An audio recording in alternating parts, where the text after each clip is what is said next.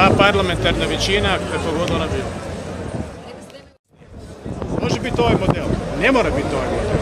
Pokazalo se da ovaj model ima svoje nedostatke, ima i prednosti.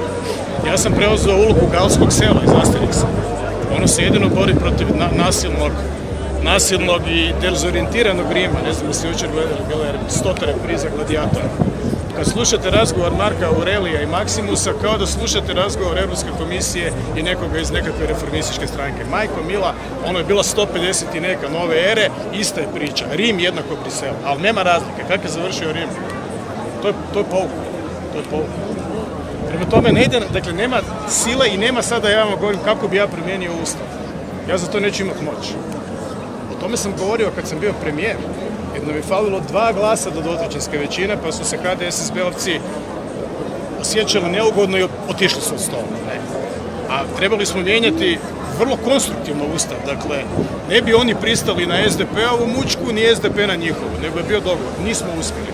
To je zadnji puta, 2014. da je hrvatska politika bila ovoliko od većine i volje za promjenu ustava, dakle dvotrećinske većine. Od tada to je, dakle, Dunav.